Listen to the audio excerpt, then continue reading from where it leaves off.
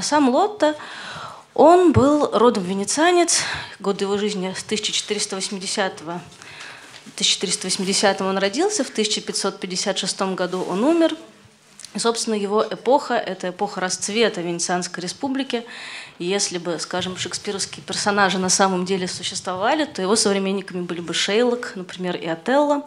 Э, а так он был современником, младшим современником Леонардо да Винчи, современником Рафаэла, Рафаэля. Э, в его годы его жизни, в XVI веке в Венеции, собственно, процветали и изобразительное искусство, Тициан, Веронезе, семейство Беллини, Карпаччо чуть раньше – и музыка процветала. Э, братья Андрея Джованни Габриэли, знаменитая органная музыка, хоровая венецианская. И, собственно говоря, сама республика, она была на вершине своего политического могущества.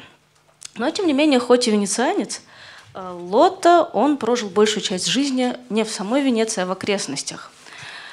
Э, почему так получилось, непонятно. Дело в том, что очень мало сведений сохранилось о его жизни – Джорджо Вазари, который упоминает его в своих жизнеописаниях знаменитых живописцев, скульпторов, он его все время путает с другим художником. И потом так сложилось в истории искусства, что его картины, они очень часто приписывались другим художникам, в том числе Дюреру или Гальбейну или тому же Тициану.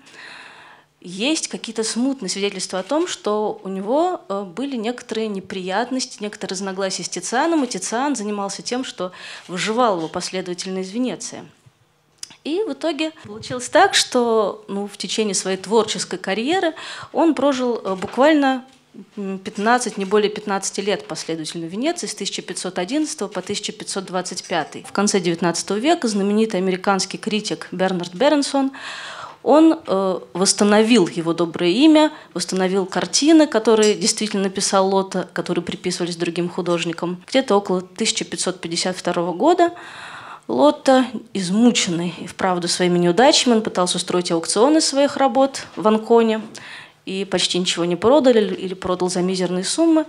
И он становится не монахом, но светским братом в святилище э, святого Дома Богородицы в Лоретто. Мы еще упомянем э, об этом святилище, потому что для него он создал эту свою работу – а, то, что мы видим перед собой, это, видимо, последняя работа Лотта, созданная в 1554-55 годах. Все западные и восточные, то есть византийские и русские изображения на этот сюжет, принесение во храм или введение во храм или сретение, они основаны на одном единственном тексте евангелиста Луки. Он смешивает э, два, на самом деле, ритуала. Он говорит и об очищении Матери Христа, и о выкупе Э, за младенца перворожденного.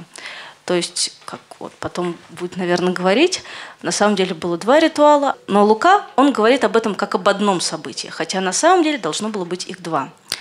И вот отсюда, из-за этой путаницы или сознательного какого-то смешения, э, идет на самом деле тонкое некоторое разделение. Очень рано э, есть свидетельство о том, что праздновали это событие. Первое свидетельство конца IV века в Иерусалиме. Э, паломница Эгерия или Этерия испанская, она пишет о том, что вот это событие праздновалось. И называлось оно э, тогда Сретение. И потом на Востоке этот праздник все время называется Сретение. Сретение – это встреча. Это встреча старца Симеона с младенцем, которого приносят в храм. На Западе же когда этот праздник появляется, впервые свидетельство о том, что вот он на Западе празднуется, они относятся к концу V э, уже века. В Риме этот праздник называется «Очищение блаженной или благословенной Девы Марии». И вот под таким названием этот праздник, он известен на Западе, он называется то «Очищение Девы Марии», то «Внесение во храм» и никогда как встреча – и получается, что на Востоке до настоящего времени акцент делается вот на этой встрече, встрече старого и нового, скажем так. А на Западе, наоборот, делается акцент на личности Девы Марии и, э, может быть, на воплощении, на самом младенце Христе. И вот это вот надо, наверное, иметь в виду. Вот это вот вообще самое первое изображение введения во храм. Это мозаика триумфальной арки в церкви Санта-Мария-Маджоре в Риме. И здесь иконография еще не сложилась. Э, и мы видим нечто необычное. В центре женская фигура, Богородица держит младенца, и она в костюме византийской императрицы. И вообще здесь очень сильное влияние Византии. И вот здесь вот старец Симеон, он где-то сбоку. Э, вот он бежит, покрыв руки. Э, бежит навстречу младенцу, то есть вот это вот как-то подчеркнуто его движение и подчеркнут его благочестивый жест. Э, покрыть руки, это в Риме и на Востоке был такой жест приближающегося к божеству, приносящего жертву, то есть он как бы вот подчеркивается, что он приближается не к простому какому-то мальчику, а к самому Богу. И тут же рядом с ним стоит Анна, пророчица, да, упоминающаяся в тексте Луки, которая делает так называемый жест пророчества. Она поднимает руку, то есть она говорит что-то. В центре стоит Иосиф, и кроме того присутствуют три ангела с нимбами.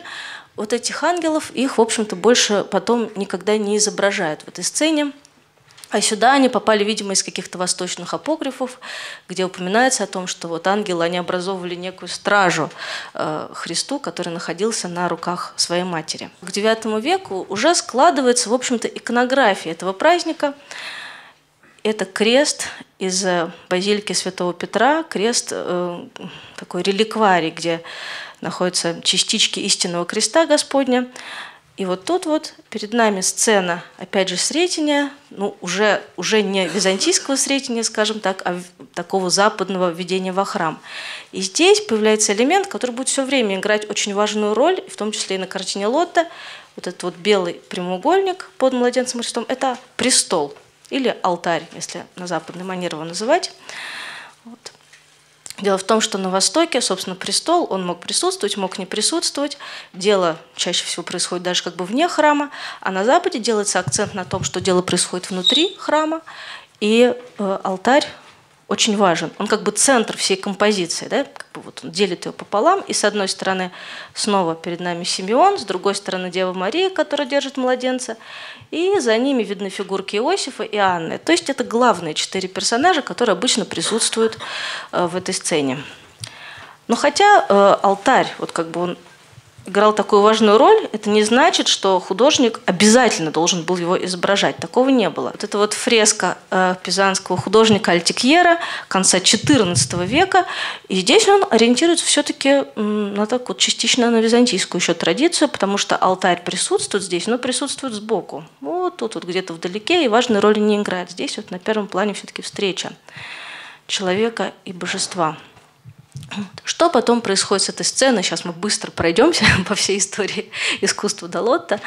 Э, где-то в XIII веке начинает появляться все больше и больше людей в этой сцене. Вот, например, это Никола Пизана, это рельеф э, для кафедры проповеднической, собственно, в Пизе.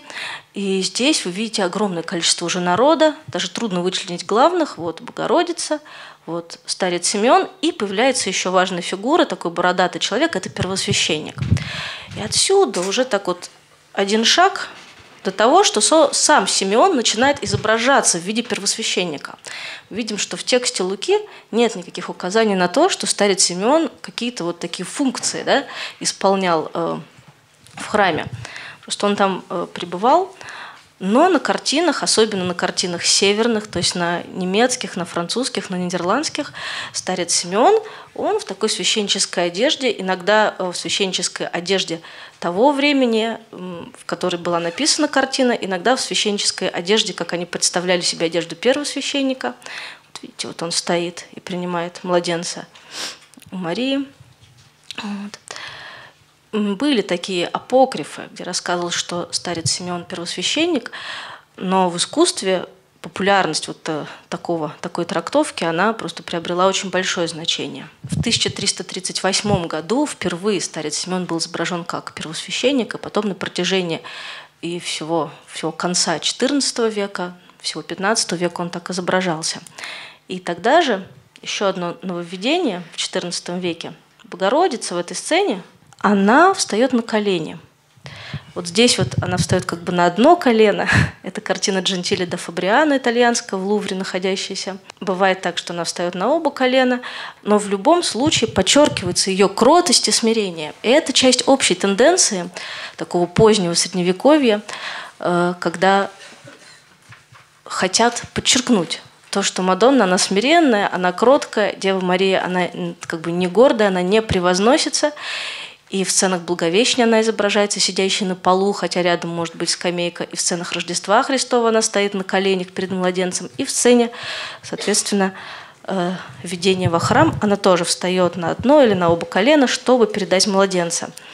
Что касается храма, как он изображается. Вот мы говорили о том, что на Западе очень часто изображается внутри храма, но при этом не было вообще важно для э, художников передать какое-то реальное сходство. А о том, как выглядел храм, они, в общем-то, имели какое-то представление и по Библии, и по рассказам Иосифа Флавия.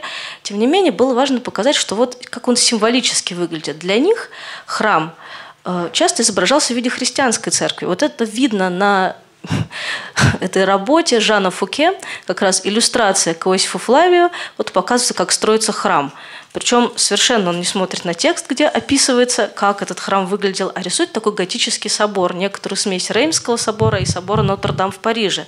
Да? То есть вот если увеличить, то видно вот всякие детали красивые, тут вот э, скульптуры, да, э, то есть э, показывается, видимо, то, что на самом деле христианская церковь – это и есть истинный храм, где идет истинное поклонение Богу, который заменил вот этот вот храм древний.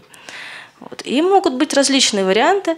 Опять же, вот картина неизвестного итальянского художника, где изображено исцеление Христом одержимого на как бы пороге храма, при этом храм изображен как флорентийский храм, в то время уже существовавший с куполом, который Брунеллески создал в 15 веке.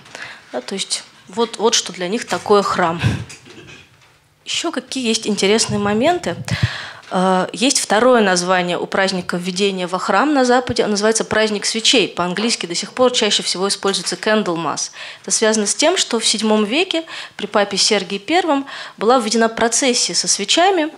И с этими свечами потом было связано множество поверий, их благословляли, считалось, что даже, даже у нас тоже есть такие верования, что вот Сретенская свеча, она охраняет дом от пожара, она вот как-то вот благословляет весь дом. И вот, например, э, это работа немецкого художника Стефана Лохнера. И здесь так вот на заднем плане Сретения, а на первом плане процессия, множество, значит, детей мало-мало меньше – они стоят со свечками. А я забыла сказать, что праздник на Востоке и на Западе, название разное, но он празднуется в один как бы, день, 2 февраля, но только у нас он по старому стилю, а на Западе по-новому. То есть один праздник, два названия, одна дата. Интересно еще в итальянском искусстве на достаточно большом количестве изображений в этой сцене младенец Христос, он показан как очень так вот перепеленутый э, до такой степени, что вот эти его пелены, они напоминают даже пелены уже погребальные, а не младенческие. И это, в общем, тоже не случайно, так как этот праздник, он связан да, с тем, что вот как бы если это выкуп перворожденного первенца, э, выкуп за то, чтобы, за то, что его не убили. То есть он не приносится в жертву во время принесения во храм. Деньги приносятся за него. Но в то же время, на самом деле, Христос, он приносит жертву потом. То есть он как бы сам себя жертвует. И э, вот не напоминание, а как бы предчувствие этой жертвы, оно уже выражается. Вот Дева Мария отдает его, она уже понимает, что произойдет, потому что старец Семен говорит ей о том, что вот ей самое оружие пройдет душу. И младенец, он еще младенец, он перепеленутый, но он уже как бы свитый вот этими э, пеленами, которыми он будет свит в гробе. Это работа доминиканца Фра Анжелика, и то же самое мы видим в работе уже венецианца Джованни Беллини 1464 года. Да, то есть вот здесь еще как бы это может быть более подчеркнуто, как бы он спеленут очень туго. И вот этот мотив жертвы, он может выражаться по-разному. Вот здесь, например, работа Тинторетто, это младший современник Лоренцо Лотто, примерно того же времени вот это принесение во храм, что и Лотто писал, середины 50-х годов. Здесь Дева Мария, вот она в красном, плохо видно, она держит младенца на руках, она встает, чтобы положить его на этот алтарь. Положить его на этот алтарь, она кладет его сама. Вот более ранняя работа Пьетро Бемба, где младенец лежит уже на алтаре. И здесь вот видите такой старец Семен, как иудейский первосвященник, вот с талисом практически произносит какие-то над ним молитвы. Подчеркивается, может, идея выкупа на гравюре Дюрера служанка стоит на коленях, и она держит в руках такую корзинку, где содержится выкуп за первенца. Тут же э, то же самое происходит в работе итальянца Романина, где младенец, который удержит Семен опять в одежде священника над алтарем, а служанка, встав на одно колено, она держит двух горлиц или двух птенцов голубя. Бывают и совсем странные вариации э, изображения этой сцены. Это из одной рукописи конца XIV века сцена введения во храм. Здесь почему-то первосвященник стоит за старцем Симеоном в такой папской тиаре, и он держит в руках огромный тесак. Здесь непонятно, то ли художник немного перепутался со сценой обрезания, э, то ли он опять намекает нам вот на, на жертву, которую Христос принесет. Иногда были изображения, где подчеркивается, что это ветхозаветный алтарь. И как они себе представляли ветхозаветный алтарь, как обычный, но в котором посредине горит огонь. Да? То есть вот здесь вот перед этим огненным алтарем за ним стоит Симеон Первосвященник, и на этом рельефе Брунеллески то же самое. Стоит он уже точно в папской тиаре, изображен первосвященник, положил руки на алтарь, и на алтаре вот так вот золотом выделен горит огонь. Э, Анна, которая может изображаться в монашеском одеянии очень часто, особенно в доминиканском, первосвященник, который записывает в книгу то, что происходит, мы видим, что как бы э, самые разные могут быть детали, но в целом художники, они э, делают все очень узнаваемой, эту сцену, трудно ее как-то не узнать, они в рамках в рамках некоторого, некоторой иконографии действуют. Теперь, если посмотреть, что сделал с этим сюжетом Лоренцо Лотто, э, наверное, это самое удивительное, самое необычное с иконографической точки зрения изображение э, введения во храм в западном искусстве. Я уже говорила, что эта картина была его последняя. Он написал ее, закончил в 1955 году. Э, кто был уже на выставке, те, наверное, обратили внимание, что она – это не маленькая картинка, она очень большая. Ее размеры 172 на 137 сантиметров. То есть он ее писал не для себя, он ее писал для, по заказу, скорее всего, холст масла, но это обычные уже для высокого возрождения материалы. И, скорее всего, согласовывал каким-то образом вот разные необычные детали. Но серьезно никто этой картиной не занимался. И более того, вот эти вот необычные детали, они вызывают э, все время недоумение пока что у исследователей. Давайте посмотрим. Прежде всего, наверное, надо обратить внимание на уже знакомые нам моменты. Вот старец Симеон, тоже в митре, напоминающий папскую, и в одежде первосвященника, он как бы вот делает такой жест – жест приятия благодати. Дева Мария, как Мадонна смирения, стоит на коленях и протягивает ему младенца. За ней почти невидный Иосиф. Вот его лысина тут видна. И Иосиф держит свечу. Вот как бы то, что мы уже говорили про введение принесения во храм как праздник свечей. И за ними, значит, какие-то прислужницы, какие-то вот разговаривающие персонажи. Справа стоит пророчица Анна, тоже в монашеском одеянии. Алтарь. За алтарем стоят два таких вот персонажа, уже в таких священческих одеждах. Один из них держит э, в руках голубя. И справа тоже какие-то вот присутствующие просто при этом лица. Это все понятно, это делает сцену узнаваемой, но при этом главное, как бы вот в центре всего находится алтарь, который стоит на человеческих ногах. И такой детали действительно нету больше нигде, ни в сценах э, введения во храм, ни в каких-либо других сценах. И более того, это здесь плохо видно, но, может быть, вы действительно потом пойдете на выставку. Книга, да? Открытая книга. Кто ее держит? Руки и человек какой-то, а головы у него нет – то есть или эта голова какая-то такая маленькая и втоплена в шею так, что книгу ее полностью закрывает, то ли действительно Лотто изобразил безголового персонажа. То есть э, что это вообще может означать? И еще одна необычная вещь, если посмотреть на картину – целиком, то мы увидим, что она, в общем-то, поделена по вертикали на две части. Причем верхняя часть, пустое архитектурное пространство, она занимает столько же места, сколько и сцена с людьми внизу. Вот тут вот изображен монах, на самом деле, с бородой, который заходит вот в это пространство. Вот здесь его голова. Он оборачивается назад. Он проходит в дверь и оборачивается назад. А здесь за колонной очертания, только даже головы не видно, еще одной какой-то фигуры в черном, тоже, видимо, монаха.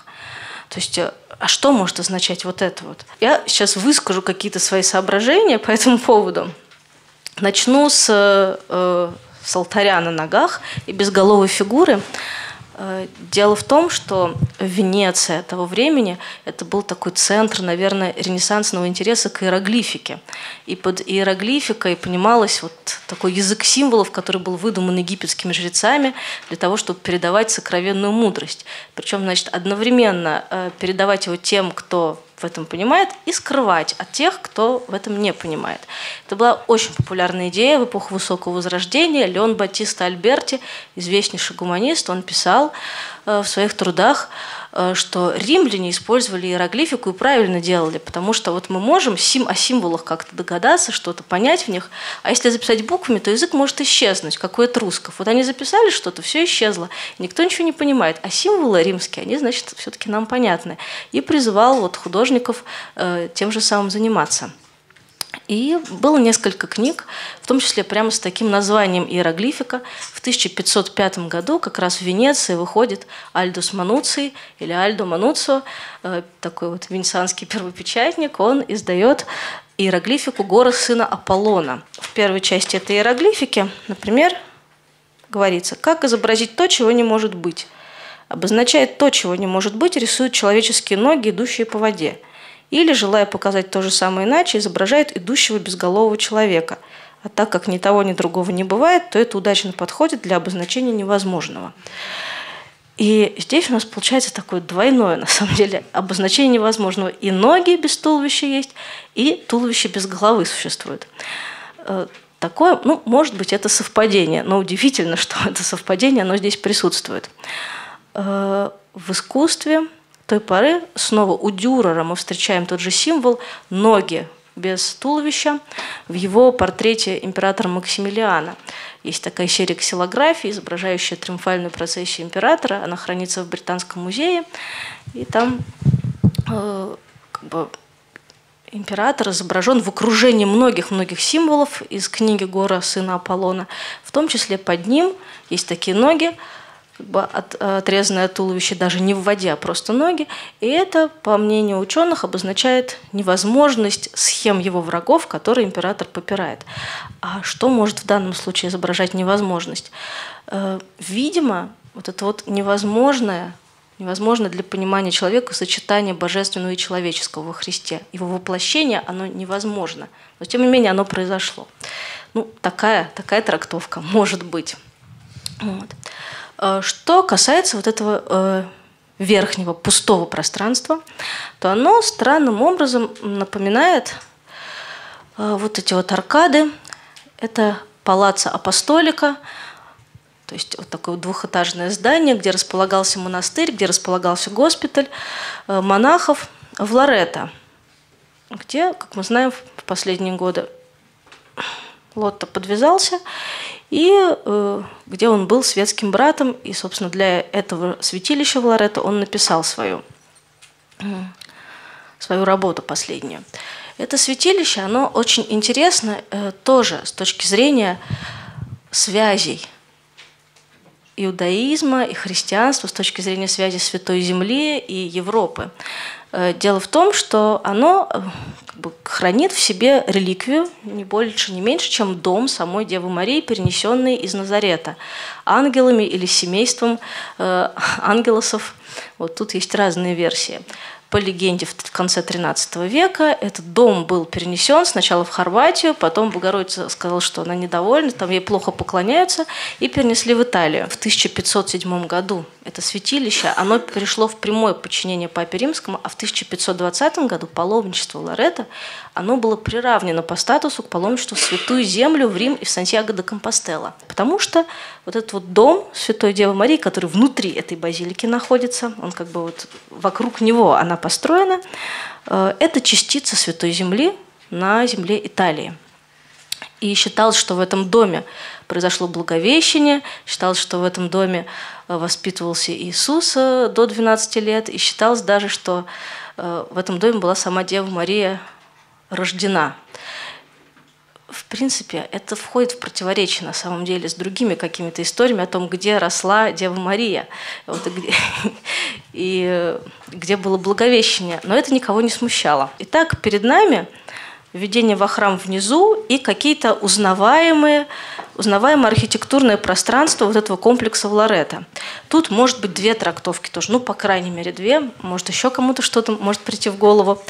Э, первое, то, что изображается действительно комплекс э, в Лоретто, вот эти вот аркады, и внизу, вот то, что мы видим, это изображение какой-то инсценировки, какой-то мистерии, какого-то театрального действия во время праздника – а такие праздники происходили, и мы знаем, что вот введение принесения во храм или очищение Девы Марии, оно праздновалось очень широко в Лоретто. На этот праздник стекались паломники, и вполне возможно были какие-то вот такие вот театрализованные представления. Вот. Э, второй, вторая трактовка, она э, заключает, она более символическая, скажем так, что вот это вот пустое пространство, которое над пространством ветхозаветного храма – это две реальности на самом деле. И вот этот вот храм – это храм Ветхого Завета внизу, храм ветхой религии, и над ним еще пустое пространство христианской уже церкви, которое вот рождается на наших глазах, оно пустое, оно темное, да, вот вы видите, здесь, конечно, слишком темное, но в принципе там оно действительно, там очень глубокая тень. То есть там еще ничего нету, но вот Христос, Он уже воплотился, Он уже начал вот как бы свое, свое дело, и э, церковь, она начинает появляться из небытия.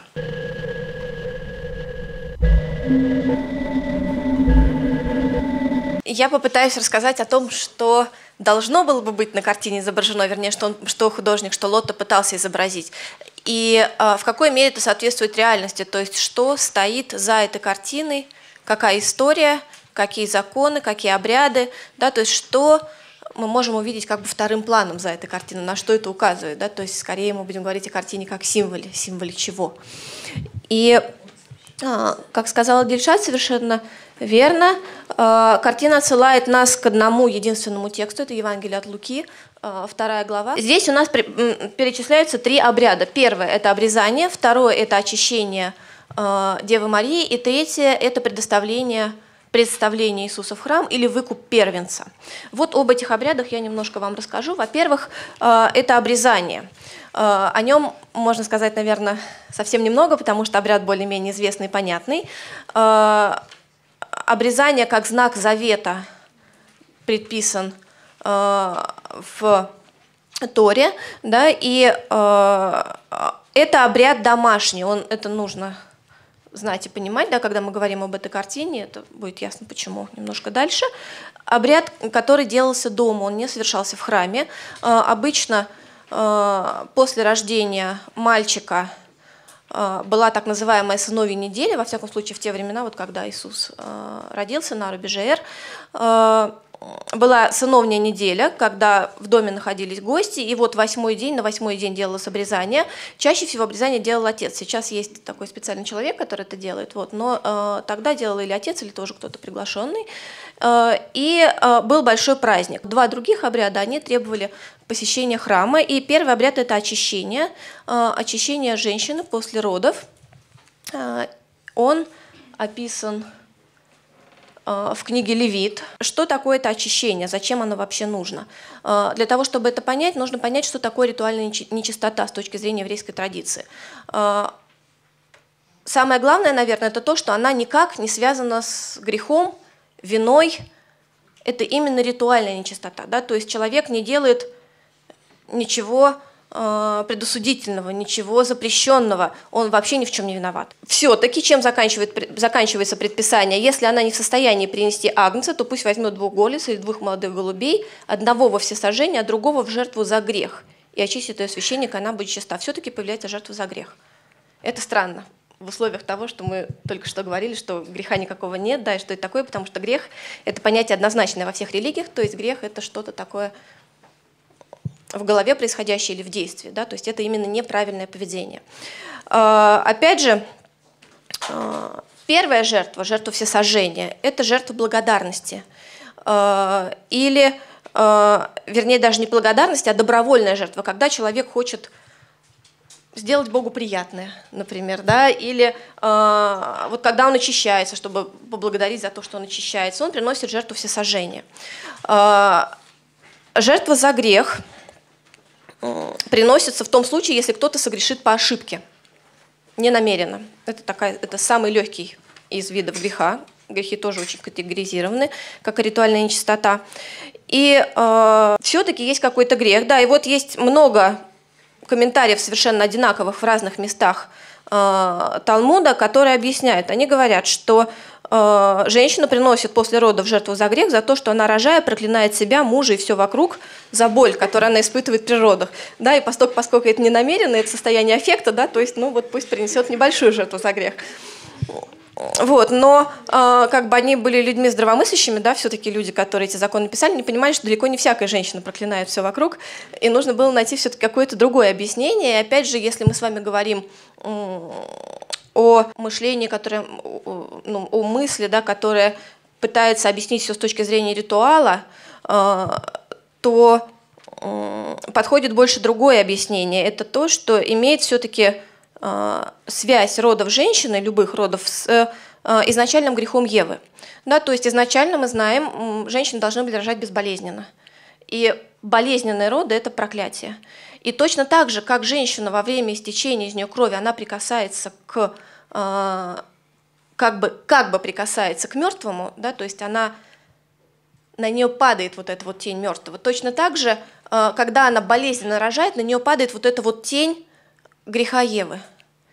И э, точно так же, как она должна э, совершить э, очищение, точно так же она должна принести вот эту вот жертву за грех, да, то есть чтобы освободиться вот от этого вот прикосновения э, к смерти и прикосновения к греху. Еще немножко поясню про э, первенцев. Зачем приносили мальчика? Э, в э, что такое, да, что такое вообще первенец. Это тоже очень большая тема, и первородство очень значимо во всех культурах древних. Да. А, первенцы очень много получали, они были наследниками, но с них и спрос был больше, то есть если нужно было кого-то принести в жертву серьезную, то это был первенец.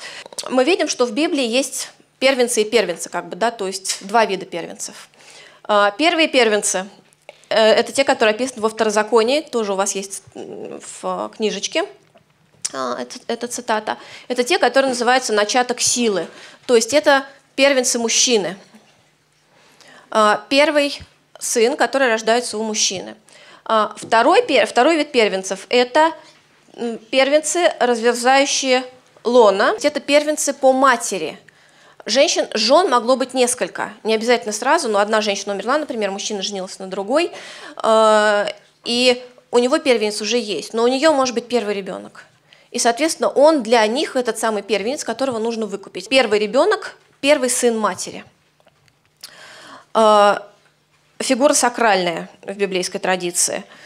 Потому что а, для того, да, чтобы понять, почему эта фигура священная, а, мы можем обратиться к двум текстам. Первый – это исход, 13 глава там, где говорится вот как раз об этих первенцах. «И сказал Господь Моисею, говоря, свети мне каждого первенца, разверждающего всякие ложи сна между сынами Израилевыми, от человека до скота, мои они. И когда введет тебя Господь в землю ханаанскую, как он клялся тебе и отцам твоим, и даст ее тебе, отделяй Господу все разверзающее ложе сна, и все первородное скота, какое у тебя будет, мужского пола, Господу, а всякого из ослов разверзающего заменяй агнцем. А если не заменишь, выкупи его, и каждого первенца человеческого из сынов твоих выкупай» И когда после спросит тебя сын твой, говоря, что это, то скажи ему, рукой крепкую вывел нас Господь из Египта, из дома рабства. Ибо когда фараон упорствовал отпустить нас, Господь умертвил всех первенцев в земле египетской, от первенца человеческого до первенца из скота. Посему я приношу в жертву Господу все разверзающее ложе сна мужского пола, а всякого первенца из сынов моих выкупаю. Ну, то есть мы видим, что это в память об исходе. Историю, которую, я думаю, вы все прекрасно знаете, когда а, последняя десятая египетская казнь, когда были убиты первенцы все и, и скот, да, и дети а, в семьях египетских, а еврейских детей это миновало. И вот эта вот как бы память встречи детей первенцев, да, не, не обязательно уже они могли быть взрослые люди, но память встречи первенцев со смертью, избежание этой смерти, оно остается в традиции. И второе, а, это идея служения первенцев, да, то есть посвяти мне. Это не обязательно убей, даже вовсе совсем не убей, а это отдай мне в служение. И э, очень сильна, я не буду сейчас читать тексты в целях экономии времени, они у вас все есть, очень сильна в еврейской традиции память о том, что до того, как служить стали левиты, специальные священники, да, посвященные, нужно было родиться в определенном колене, в колене Левия, чтобы иметь право служить. Они были по официальной версии да, выбраны в служение после истории с золотым тельцом, когда весь народ приложился к тельцу, поучаствовал в его строительстве, а левиты нет, потомки Левия нет. И вот они были за это назначены э, служить в святилище. До этого э, служить должны были первенцы. То есть в каждой семье как бы получался свой священник. Это первенец. И он представлял семью перед Богом. Э, и тем не менее, поскольку да, законы, эти законы, все сакральные законы, они не имеют обратной силы. То есть нельзя сказать, я передумал, пусть первенцы не служат. Нет, уже первенцы назначены служащими. Соответственно, э, их нужно как-то вывести из этой сакральной сферы. И для этого э, вводится вот этот вот обряд выкупа первенца. Э, память, как я сказала, об этом, о том, что первенцы должны были служить, очень глубокая. Например, да, до того, как бы это, опять же, это Мишна, да, то есть это талмудический кусочек, до того, как была поставлена скиния, то есть самый древний храм, были дозволены бамы, то есть высоты, да, то есть места служения не связаны с Иерусалимским храмом. И служба совершалась первенцами. Когда была поставлена скиния, бамы были запрещены, служба стала проводиться священниками. И еще средневековый комментарий на книгу «Исход». Священники же, приближающиеся к Господу, должны осветить себя, чтобы не поразил их Господь.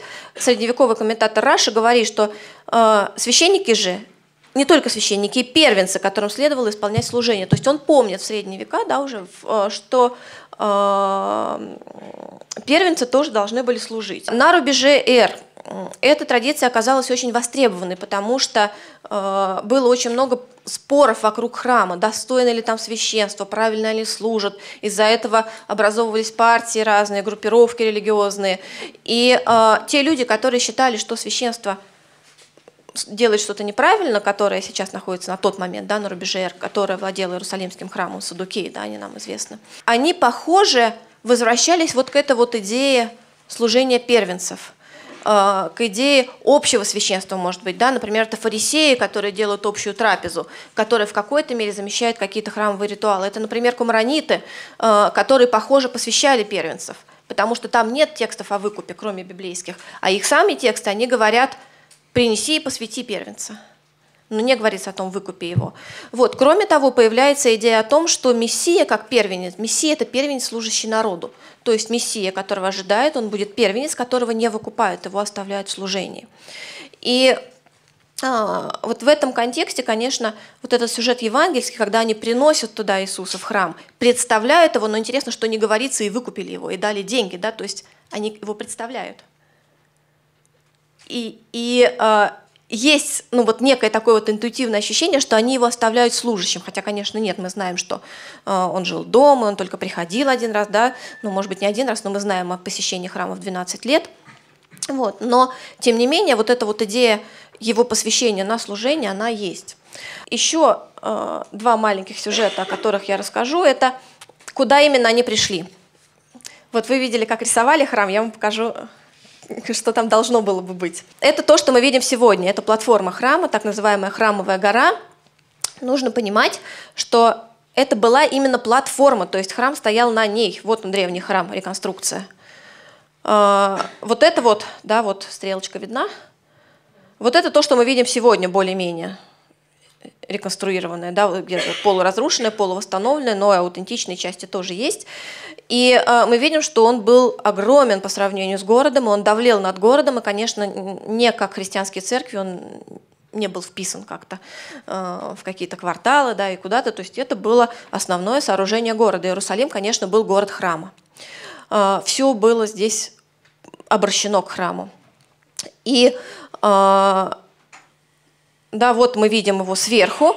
А, храм еврейский, опять же, нужно понимать одну, еще одну вещь, да, что, во-первых, это пространство очень четко структурированное, да, то есть далеко не всем можно было везде ходить. А, вот здесь мы видим дворы. А, первый двор, вот этот, назывался двор женщин, да, то есть женщины дальше ходить не могли. Вот здесь вот был так называемый двор Израиля, то есть мужчины могли заходить еще вот сюда, мужчины могли находиться здесь и заходить вот сюда, а дальше могли ходить только священники. А вот туда вот, в само здание, э, в первую часть могли входить священники, и то далеко не все, а совсем далеко мог входить только первосвященник, святой святых, туда, где находился алтарь изначально, да, потом уже вот в тот период, когда э, туда был приведен Иисус, там уже алтаря этого не было, где ковчег завета находился, да, то есть алтарь был единственный вот здесь вот во дворе, и он был огромный, он не был тем столом, который мы представляем его сегодня, он был в несколько человеческих ростов, и на него нужно было восходить по лестнице, а, да, вот здесь это более-менее четко видно, да, то есть вот двор женщин, двор Израиля, двор священников, Народа там было много обычно, потому что приходили туда со всей страны, храм один, не как церквей много, да, храм один, приходили, особенно на праздники. А, считается, что население Иерусалима было 50 тысяч около, да, плюс-минус, на праздники 125 тысяч жителей, жителей приходило в Иерусалим. А, и, конечно, он представлял собой ну, как такую вот площадь, на которой толчья, да, еще представьте себе, люди идут с животными, с фруктами, с детьми, у кого какие нужды, все это туда, и тут же, значит, они разделываются, и крови много, и одно из чудес Иерусалимского храма – это то, что э, там не было мух, и у женщин не было выкидышей от запаха, да, то есть можете себе представить, если возникла вообще такая вот идея, что можно было, могло такое произойти, вот, как там как там было находиться, да, что там происходило. И э, храм походил, конечно, на кухню, но на кухню очень хорошую, то есть где кто попал не ходит, а где все четко делается по определенным правилам, все моется, все чистится, да, и э, все делается по определенным командам, все расписано. Вот, женский двор от мужского двора и от двора священнического отделяли вот такие прекрасные ворота, которые назывались ворота Никанора. Они были сделаны из меди. И мы видим, вот куда э, могла прийти Мария очищаться. Если сегодня вы окажетесь на Храмовой горе, туда сегодня можно попасть. Если кто-то был уже, да, э, вы будете понимать, о чем я говорю. Если кто-то не был, то когда вы там будете, вы будете знать, куда пойти, что посмотреть. Если вы встанете лицом к мечети Алякса, третье по святости место для мусульман после Мекки и Медины, и повернетесь к ней лицом, и пойдете влево, то вы увидите вот здесь вот такое вот большое пространство. Э, и увидите вход туда. Вот это мечеть Алякса на Храмовой горе. И мы с вами будем говорить вот об этом вот углу. Э, это место, которое называется конюшни Соломона. Вы найдете это в любом путеводителе. И э, есть здесь маленькая мечеть, называется мечеть Колыбели Иисуса. Если вам повезет с путеводителем или с гидом, или если вы запомните то, что буду говорить я, то вы э, вспомните там, что э, мечеть колыбели Иисуса, она обычно объясняется тем, что когда они туда пришли в храм, принесли Иисуса, его же нужно было куда-то положить. Они же не могли его все время на руках держать, да, то есть его положили, тут им принесли вот некую колыбельку, куда они его положили в какой-то момент, и эта колыбель сохранилась и стала реликвией, и, значит, вот там э, она хранится. Мечеть не упоминается в текстах до X века, вот, но э, традиция, связывающая это место с Марией, она довольно древняя, потому что в Коране э, есть две суры, третья и девятнадцатая, где рассказывается о Марии. Там не называется место Иерусалим, но говорится удаленное место. Да, есть комментарии восьмого века, Тавсиры, которые говорят о том, что это был Иерусалим, что Иисус родился в Иерусалиме, и что Мария жила в Иерусалиме. И отсюда вот это вот место, да, именно вот в связи с предшествующей традицией, видимо, было выбрано в качестве святыни э, в память да, мечети Марии, где, где есть михраб Марии и э, колыбель Иисуса. Затем, в конце XI века, туда пришли крестоносцы. Крестоносцы были люди доктрины обремененные, как вы понимаете, они не могли э, считать, что Иисус родился в Иерусалиме, потому что они знали, что он родился в Вифлееме, а жили они в Назарете. Э, соответственно, но колыбель Иисуса – Нужно как-то объяснить, что она там, что он там делает, да, и почему. И, э, и жалко от такого артефакта отказываться, сказать нет, все было не так, да, и давайте мы это выкинем, а здесь делаем что-нибудь другое. Нет, почему? Раз колыбель нашлась, значит, надо как-то объяснить ее наличие там. И э, появляются предания, которые зафиксированы в нескольких э, паломничеств, описаниях э, паломничеств, да, и вот э, самое э, замечательное такое из них, это самое пространное – это паломничество Иоанна из Вюрсбурга. А, это 12 век, 1150-1160 год. У вас его нету, потому что я только вчера это нашла, и как-то оно соединило сразу все. А, он пишет, если спустишься по главной улице, увидишь большие ворота, ведущие в широкий двор храма. Справа в южном направлении стоит дворец, о котором рассказывают, что построил его Соломон. В нем есть замечательные конюшни таких размеров, что она может содержать 2000 лошадей или 1500 верблюдов. Ради с этим, рядом с этим двором стоит большие здания, стоят большие здания ордена рыцарей-храмовников, соединенные между собой, а также фундамент новой большой церкви, которую до сих пор строят. Рядом со зданиями рыцарей-храмовников, восточнее у городской стены, был дом Семена Праведника, в котором, как, он раска... как, э, раска... как рассказывают, он часто принимал благословенную Деву Марию, мать нашего Господа, гостеприимно заботился о ней и кормил ее. Так делал он той ночью, которая предшествовала тому дню, который был сороковым после рождения нашего Господа, когда он был представлен матерью своей в храме. Держа его на руках, он, Семен Праведник, был готов представить его перед алтарем, и он понял духом пророчества, что это тот самый, которого с давних пор с невыразимой жаждой ждали праотцы, и произнес, «Ныне отпускаешь раба твоего». В том же самом доме, который теперь стал церковью, благословенный Симеон был погребен, как говорится нам в том же стихе. Внизу в крипте, в той самой церкви, до сих пор хранится деревянная колыбель Иисуса, и показывается она с великим почтением. Да, то есть там была церковь, в которой тоже хранилась колыбель. Но он пишет, что она была деревянная, да, то есть это 12 век, куда делась каменная, который пишет Насир Хасров, не очень понятно, но тем не менее вот колыбель была. А, и он же пишет одну совершенно замечательную вещь, которой, о которой говорила Дельшат, о которой будет, наверное, говорить Анна Ильинична. Теперь, приступая к рассказу о представлении нашего Господа, добавим сюда то, что касается его обрезания, которое имело место в храме Господа на восьмой день. Обряд этот, хотя отрезание плоти символизирует для человека отвержение зла, все же принадлежит к Ветхому Завету, каковой в нем был исполнен, а следовательно перестал существовать. Обрезание не входит в число новозаветных таинств – и не связано с одной из семи печатей. Как мы, но, э, и как мы уже сказали, Господь наш Иисус Христос был представлен в храме своей матерью и был передан в руки Симеона. Да, то есть он вспоминает вдруг, что обрезание тоже могло делаться в храме. Отсюда вот это вот рождается идея. Поэтому священник рисуется с ножом, они его обрезать принесли. Вот, не обязательно его убить тут же на алтаре, да? Вот, и, и вот это вот такое вот чудесное сплетение, обрезание Иисуса, колыбель его там, дом Семена Праведника и Мария там же, да, то есть все вот это вот в средневековом уме существовало и, по-видимому, диктовало э, бэкграунд картин, которые появляются в Средневековье, в эпоху Возрождения. И э, закан, заканчивая, да, то есть что дальше произошло с этим местом, э, после того, как э, в 1187 году Салах один захватил Иерусалим, это снова место стало мечетью, и оно было закрыто для посещения. Открыли его только для, евро... для, для немусульман в XIX веке, да, появились некоторые новые описания, и вот даже эта фотография 50-х годов, единственная, которая есть, вот это, да, это ну вот в мечети колыбели Иисуса, вот то, что это есть. Я не знаю, в каком это состоянии сейчас, потому что когда-то там можно было войти, у меня, я не знала, что, что, что нужно туда идти и куда нужно идти. А когда я уже знаю, куда идти, уже это сделать нельзя, потому что место снова закрыто.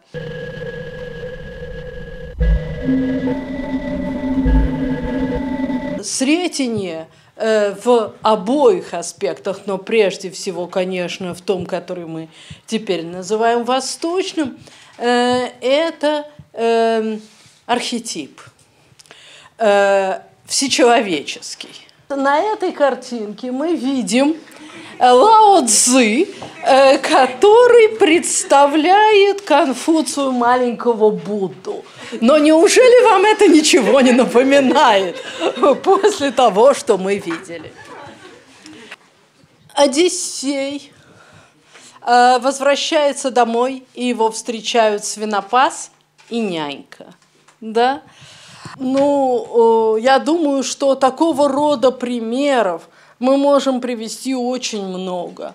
Как старый шаман опознает – молодого и так далее.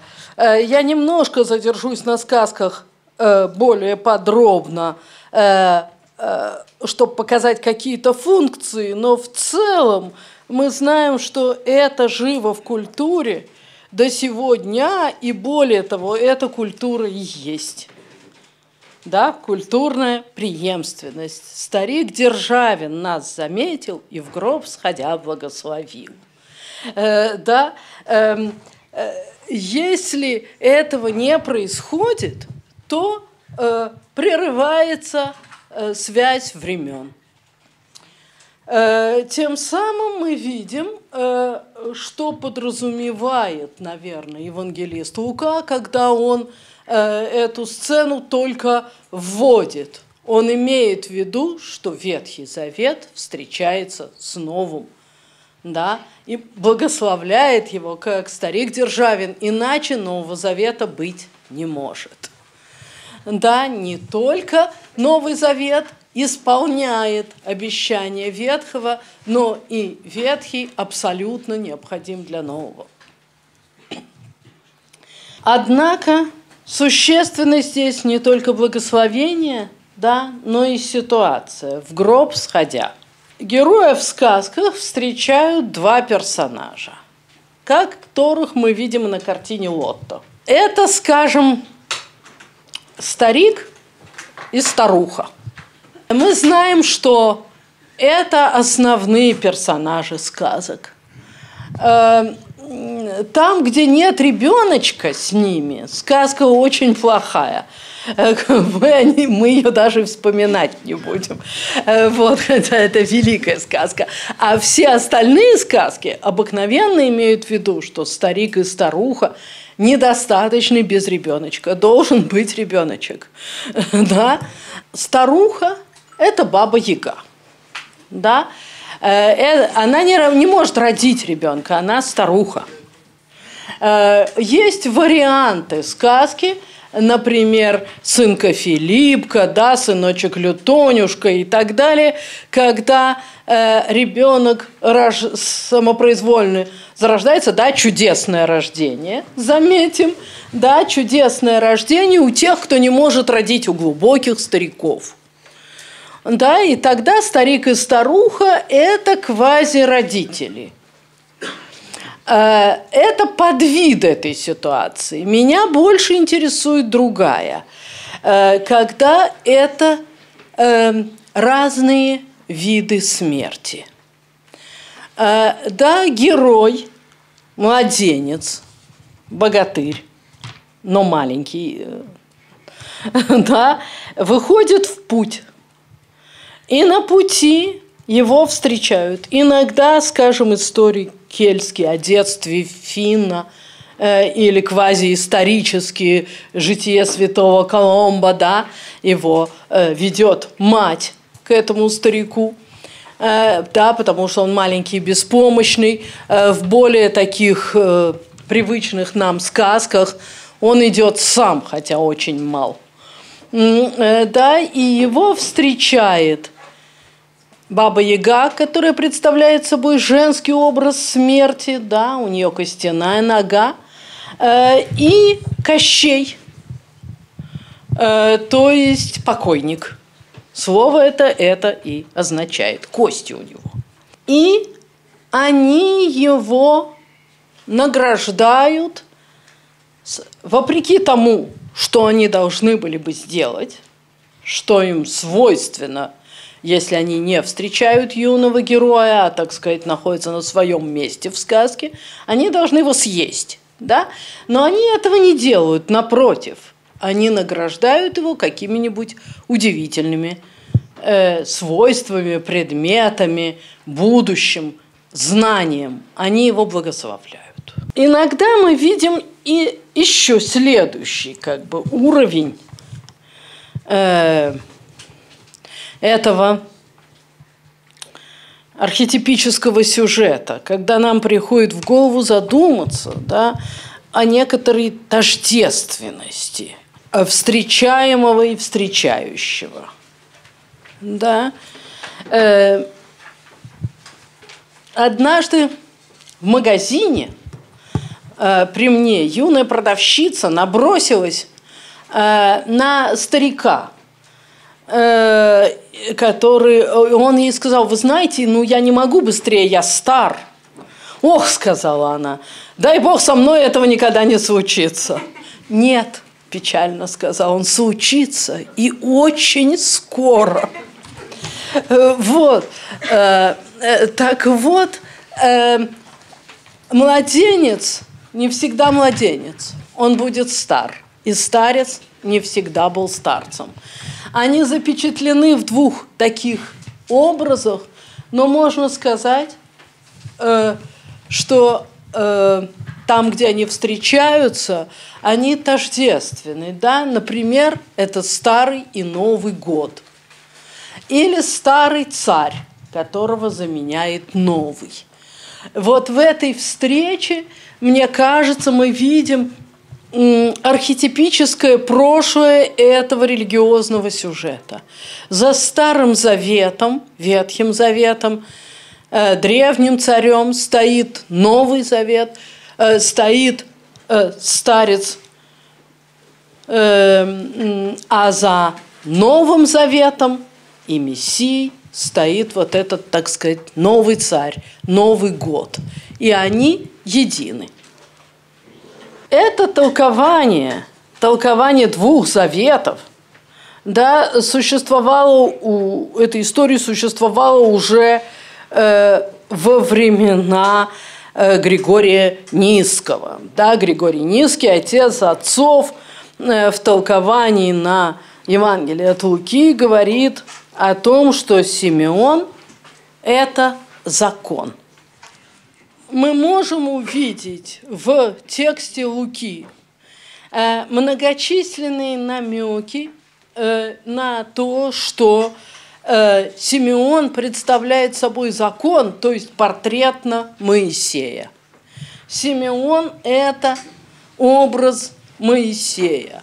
Да, мы с вами хорошо знаем, что в еврейской традиции, когда мы хотим сказать, э, что э, так говорит Тара, мы очень часто можем сказать, так говорит Маше. Да, э, это взаимозаменяемые понятия. Э, и в данном случае э, Симеон представляет Тару, но не Тару премудрость, не Тару с женским лицом, а Тару закон, Тару Маше, Тарат Маше, да, где ударение на Маше.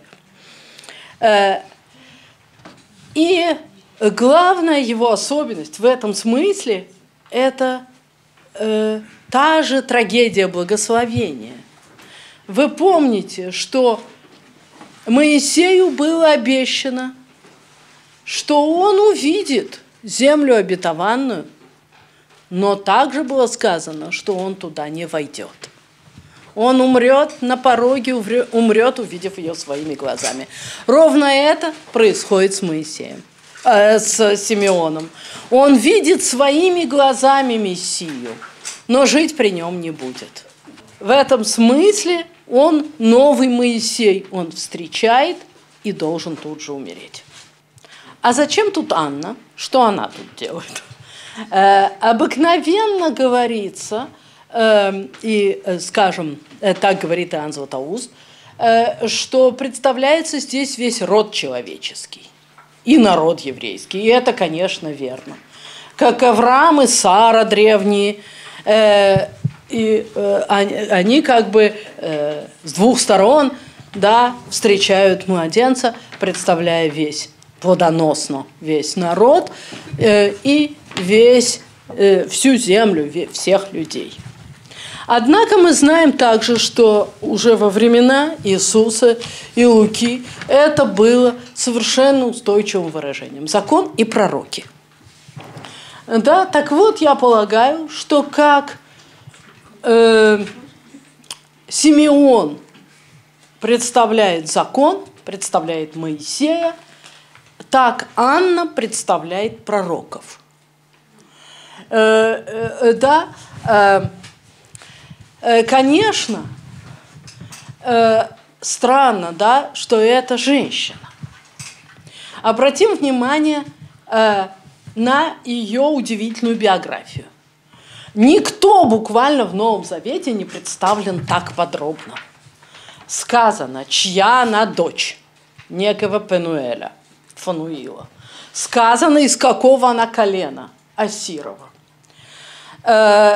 сказано, что она живет на свете 84 года, скорее всего, да, и из них э, 7 э, от девства прожила с мужем, а затем вдовеет, да, 84, э, 7 на 12.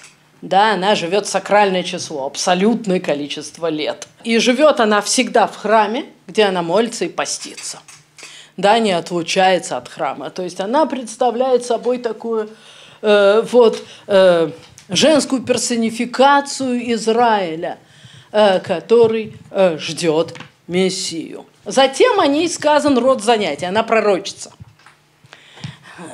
да, женское пророчество э, удостоверено на всем Ближнем Востоке, и особенного удивления тут быть не может. Она также символически представляет спасительницу и пророчицу вдову. Вот мы видим сочетание в ней всех этих функций, а также функции заведомо не быть, это оговорено э, Асиром, не быть священницей быть пророчицей, но ни в коем случае не происходить из священнического рода.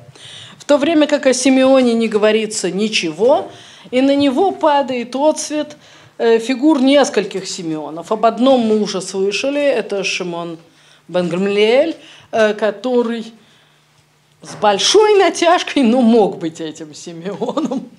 Уж очень. Тогда, конечно, он тогда нисколько не умер в этот момент, а прожил еще э, дай бог, всякому лет 40, но э, исключить это невозможно. Другой – это Шимон бен Шетах, и третий – это э, Шимон э, Цадик, Симеон действительно праведный, как называется, и этот первосвященник, о котором в книге Иисуса, сына Сирахова, сказаны такие восторженные слова – да, во всяком случае ясно, что это имя должно было вызывать э, в умах слушателей образ, связанный с храмом и священством. А Анна точно нет. Это харизматическое пророчество. Различаются они также и э, в своих отношениях к Мессии. Э, он чает утешение, параклесис. Она чает искупление, лютросис. И обращается ко всем чающим искупление. Э, да, это Нехама и Геула. Э, значит, э, если посмотреть на это с точки зрения Мидраша, на всю эту картину – то мы видим, что он ожидает, как сказано у пророка Малахии, прихода в храм Мессии, Менахема. Да, потому что Менахем – это имя для Мессии. Он ожидает прихода того, кто утешит Израиль, как сказано у Исаии, да, у второй Исаии, утешайте, утешайте народ мой. А она ожидает Искупителя – и учит тех, кто ожидает искупителя, и более широко искупление, да, то есть спасение земли Израиля.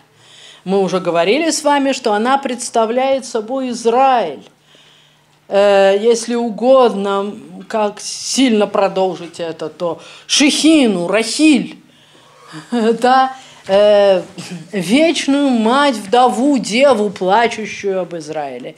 И вот ей обещано искупление, Геула. А ему обещано, обещано встретить того, кто это искупление сделает возможным, кто утешит Менахема, утешителя, Мессию. И что происходит? Происходит примерно то, что мы видим в 34 главе э, Второзакония, в ее первых стихах, да, собственно. Э, э, старец Моисей умирает, успев возложить руки на Иисуса. И тот, там это Иисус Новин, да, и тот исполняется Духа – и возрастает в премудрости. Иисус Новин, конечно, представляется нам взрослым мужчиной, да, но то, как его вводит традиция, и в особенности Мидраши, это нар, отрок, э, э, младший по отношению к Моисею. И здесь мы опять Вспоминаем, что мы видим на этой картине. Мы видим младенца и мать младенца, которая принесла этого младенца вот к этому сияющему столу, да, который занимает центр всей композиции. Да. Вообще, кто был, простите, что я, может быть, вторгаюсь в область Дельшат, э, кто был уже на выставке, мне кажется, не мог не изумиться этой картиной на фоне всего творчества Лотта. Нет вот этих вот оглушительно алых венецианских тонов, э, э, нет золота почти совсем, э, нет контрастов. Она вся, как бы сказать, как мечта Вейсберга. В белое и еще белое, и белое немножко по-другому.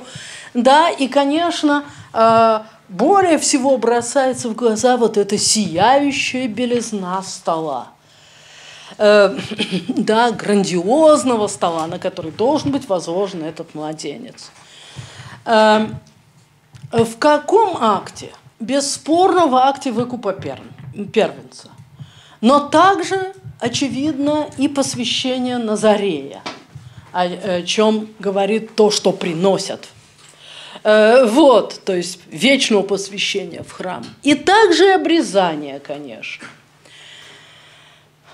Э, брака с Богом. Э, и также, я полагаю, и натуральное принесение в жертву. Это и Голгофа. Да, поэтому, мне кажется, вот этот высокий двухуровневый храм как бы изображает еще и гору. И само обрезание, которое здесь подразумевается, скажем, тем жестом, которым она его передает, а, а, художник просто ну, одно от другого, наверное, не отличал. Это все-таки кровавая жертва. Да? Хатан дамим, жених крови называется Бог в акте обрезания. Э, да, хатан дамим, то есть тот, кто принимает кровь, и тот, кто ее проливает. Тот, жених церковный, который умрет в этой крови. Вот я думаю, что здесь предвозвещается. Э, а матери сына говорится, и тебе, иду, тебе тоже оружие пройдет душу. Что значит меч? Что значит тебе тоже? А кому еще? Он будет распят – и ее, его крест, как говорит мать Мария Скопцова, его крест для нее превращается в меч. Тот крест, который он добровольно берет на себя, э, сын становится для матери мечом. Да, возвратимся к началу, к тому, что я говорила об архетипе. Э, архетип матери, да, э, матери героя. Он избирает свой путь. Он идет навстречу гибели добровольно. А что делает мать? Она не выбирает, она идет за ним. Она стоит рядом с ним и ничего не предпринимает. Да, только принимает это на себя. Стабат матер долороза. И мне представляется, э, что вот э, в этой картине действительно очень пророческой. Он странный художник, он опережает, конечно, очень сильно свое время. Э, да, э, представляется некоторым образом весь узел, клубок этих смыслов. Сретение, принесение во храм. Э, э встречаются здесь Ветхий Завет, закон э, и Новый Завет – и предвозвещается Голгофа искупление Христа. И Голгофа Израиля. Вот для чего здесь Анна. Его история, или, как сказано э, в «Ныне отпущаешь», да, в гимне Симеона, о котором мы не успеем уже поговорить, э, «Нунгдметис», да, э, гимн, который звучит за каждый вечерний, э, там сказано слава людей твоих Израиля». Да, слава Израиля, его Голгофа. Э, и слава Богоматери, то есть слава человечества, стоящего у креста.